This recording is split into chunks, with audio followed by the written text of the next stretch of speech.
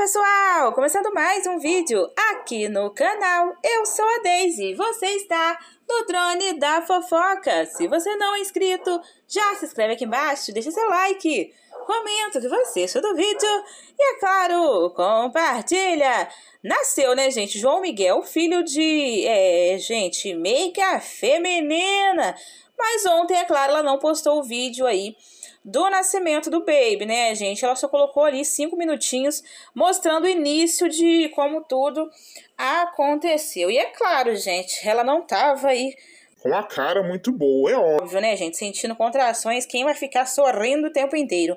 Mas a mãe dela parece que não tem muita noção, né, gente? Ficou fazendo carinho na barriga dela na hora que ela não queria que ninguém encostasse nela. Inclusive, ela repreendeu a mãe e disse que não era bom fazer aquilo porque ela não estava se sentindo confortável. O maridão, é claro, gente, esse não perde a oportunidade, né?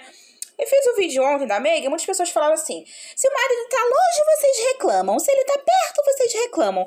Gente, é óbvio, é claro, 100% de certeza que o marido precisa estar ao lado da mulher nesse momento, gente. É uma questão de conforto, de apoio, né? E também de obrigação. Vamos falar a verdade, né? Porque a criança não é feita por um, precisa de duas pessoas para ter um ser humano no mundo, não é mesmo? Pois é.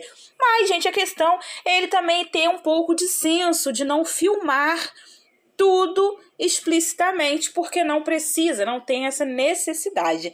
Óbvio, vai fazer porque tem um canal e por que, que é também? Claro, porque vai render. Mas, gente, o homem não perde oportunidade no quesito de divulgar rifa. É, gente, que eles continuam aí arrecadando din-din com ela, né? E aí, gente, um homem lá com a máscara no rosto, é em pleno trabalho ali, né, da situação, ele simplesmente divulgando rifa. É, gente, influenciadores que não perdem uma oportunidade, é. De um limão faz uma limonada, um mousse, uma torta. e gente, por aí vai.